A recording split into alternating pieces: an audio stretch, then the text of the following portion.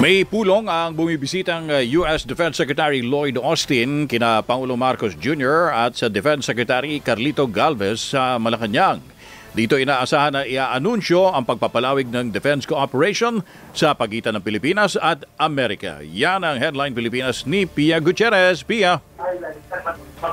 Yes, Tony, matapos bisitahin ng mga tropa ng militar sa Western Mindanao Command sa Zamboanga, nakipagpulong naman si United States Defense Secretary Lloyd Austin kay Pangulong Ferdinand Marcos Jr. sa isang courtesy call kaninang alas 10 ng umaga dito sa Malacanang sa kanyang maikling talumpati bago ang meeting, sinabi ng pinuno ng Pentagon na nananatiling importanteng kaalyado ng Amerika ang Pilipinas.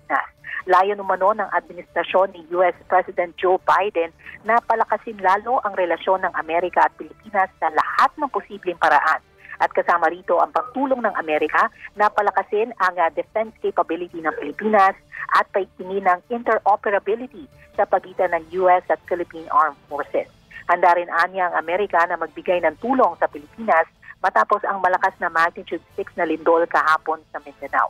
Samantala, pinasalamatan naman ng Pangulo si Austin sa kanyang pagbisita na isa umanong oportunidad para magpalitan ng ideya, komento at impormasyon sa kasalukuyang geopolitical situation, partikular sa Asia-Pacific uh, region. Ang uh, parehong gobyerno ng Pilipinas at ng Amerika.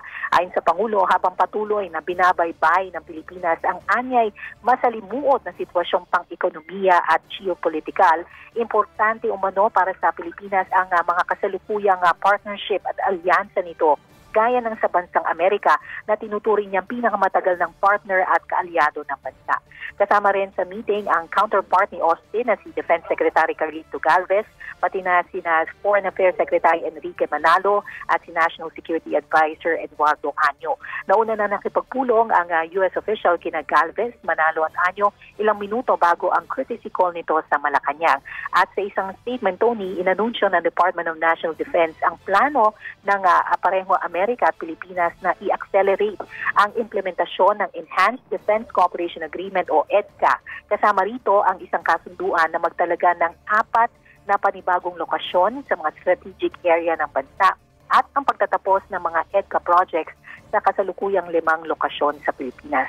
Ang EDCA ay tinuturing na importanteng bahagi ng alyansang Amerika at Pilipinas at kasama nito ang pinagsamang training, exercises at interoperability sa pagitan ng mga militar ng dalawang bansa. Ito na ang pangalawang pagbisita ni Austin sa Pilipinas. Nauna na siya nakipagpulong kay dating Pangulong Rodrigo Duterte sa Maynila noong 2021. Para sa Headline Pilipinas, Pia Gutierrez, ABS-CBN News. Maraming salamat, Pia.